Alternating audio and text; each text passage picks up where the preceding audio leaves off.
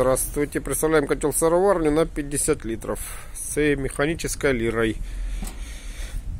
Так, это механическая лира для нарезки вручную. Значит, здесь у нас э, группа безопасности, КМ, вакуумный клапан, аварийный клапан, заливочная воронка расширительная. Здесь краники уровня. Это краник нижнего уровня, то есть контролируем воду по нижнему кранику. Это краник для подачи воды, либо охлаждения.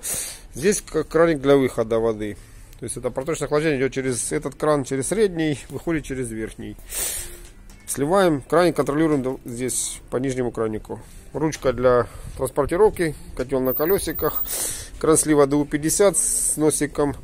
Крышка разбирается на две половинки. Э, мешалка в виде пропеллеров. То есть мешалка разворачивается в разные стороны, подавать пропеллер. То есть сетевая кнопка, мощность сыроварни 5 киловатт с вентилятором, стирательное реле. Включаем нагрев. Идет нагрев. Это таймер у нас. Таймером мы задаем параметры и спидрегулятором, то есть плавно будет подводить к заданной температуре. Сейчас на 10 секунд. Схема все отключилась. Через секунду схема отключилась. Это автореверс у нас. Значит, мешалка у нас реверсная влево-вправо. Регулируется резистором либо быстрее, либо медленнее. В одну сторону быстрее, в другую медленнее.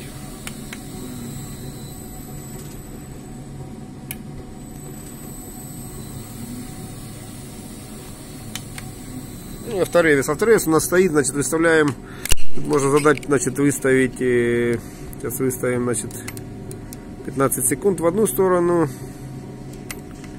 10 секунд в другую сторону. То есть, ну и включаем автореверс. Значит, отработает в одну сторону 10 секунд, перевернется и отработает в другую сторону. То есть лопатки подымут сырное зерно. Так, перевернулось. Лопатками развернет сырное зерно в другую сторону и подымет. То есть работает в автореверсе. Можем добавить регулятором скорости либо быстрее, либо медленнее. На пульте значит, стоит верхний уровень. Когда дойдется на параметр, загорится верхний уровень.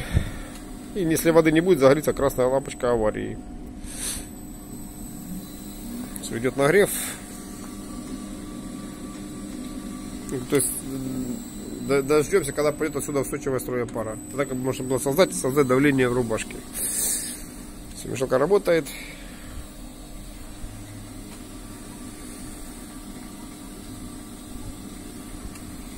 Все, то есть развернула.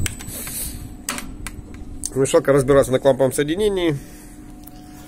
Здесь разобрали кламповое соединение. И можно откинуть мешалку в сторону. То есть открутили рамку.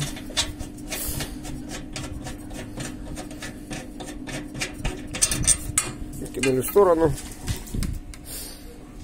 Убрали мешалку.